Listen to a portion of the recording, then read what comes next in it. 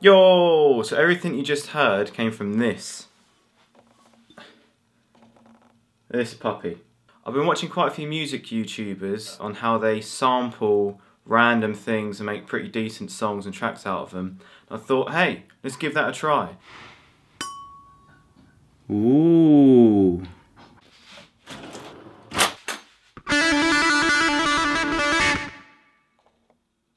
So the first thing I started off with was just hitting the uh, kind of rim of the bowl. Just from hitting it that one time, I put that into the NNXT. I named it Bowl Marimba. Why not?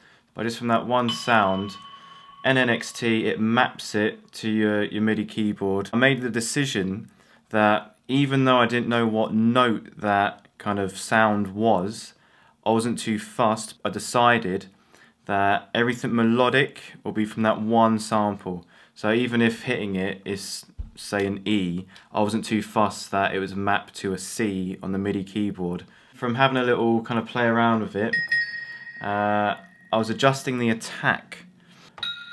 That's how it sounds normally, but if I bring it up, sounds more like a pad. So then, I was like, that's what I'm going to write all the chords on.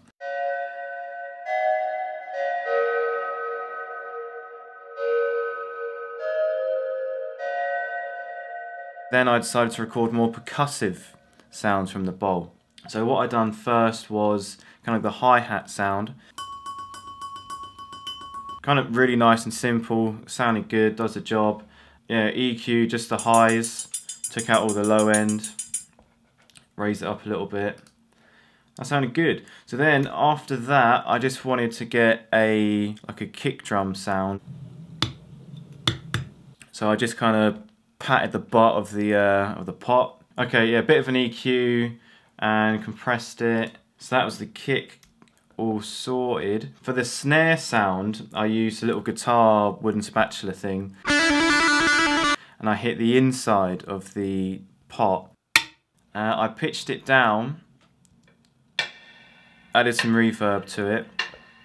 But then I felt like it wasn't quite low enough, so I bounced that sound and pitched it down again. So then between the two, just kind of mix them together. A bit of the harshness in the attack from the higher one, a bit more oomph uh, from the pitch down one. What I did add in was just this little bit here. Again, pretty much similar to the snare sound, uh, but I actually done, I just pitched them down or up a little bit just to kind of add a bit of a you know melodic phrasing into it. And I had that pan to the left uh, just to fill it out a bit. Once I had kind of uh, my beat down, uh, I then came up with the main melody. Something simple, you know, simple and sweet. So for the bass, I use the same patch uh, for the main lead sound. Uh, and all I've done here in NNXT, uh, pitched it all down an octave, kind of gave me that nice uh, kind of bassy sound. Uh, again, a bit of compression, bit of an EQ on there just to bring up the low end. And again, use the Audiomatic, the bottom on there, just pull out them deeper, richer tones.